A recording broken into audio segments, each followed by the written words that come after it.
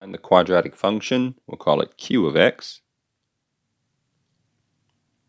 that has the given vertex and passes through the given point.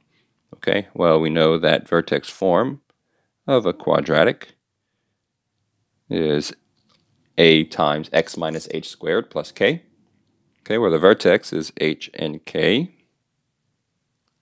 So most of my function can be found by just plugging those numbers in. X minus negative 2 squared plus 4. Of course, take care of those signs. Minus a negative means plus. So my function will start off as a x plus 2 squared plus 4.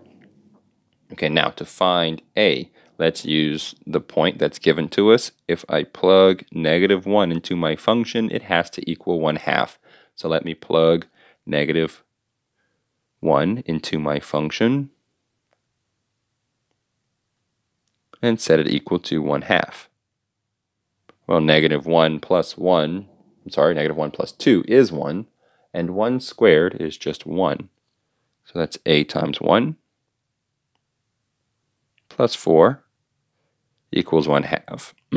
Subtract 4 from both sides. And I'll do this off to the side here, or right here. 1 half minus 4, or 4 over 1.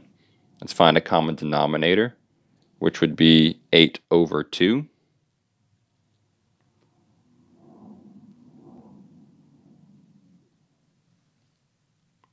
And if I subtract 1 half minus 8 over 2, I have negative 7 over 2.